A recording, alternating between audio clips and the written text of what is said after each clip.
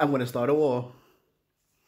So I'm saying Thierry Henry is the greatest striker I've seen in the Premier League just because of the things I've seen him do. Like, if you've got any other strikers that you think are better than Thierry Henry, uh, just comment that in the comments below, guys. Because for me, right, Henry, like, he could have the strength, the speed, the intelligence, like the runs that he would just make to get the ball from like Ljungberg, Pires, Bergkamp, the goal that he scored past this way, he just literally flicked the ball and volleyed it from like outside the box against that world class centre back like Jaap Stam, Rio Ferdinand.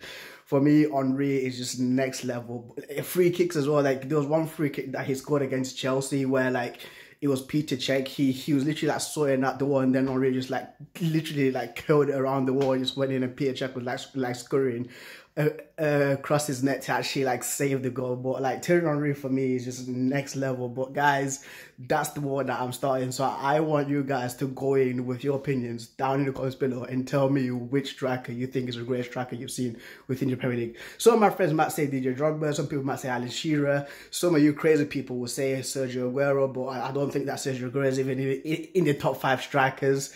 But some Man United fans might have come out with Wayne Rooney and Ruud van Nistelrooy as well. But for me, it's Thierry Henry, guys. I've been president. I'm sending out pieces.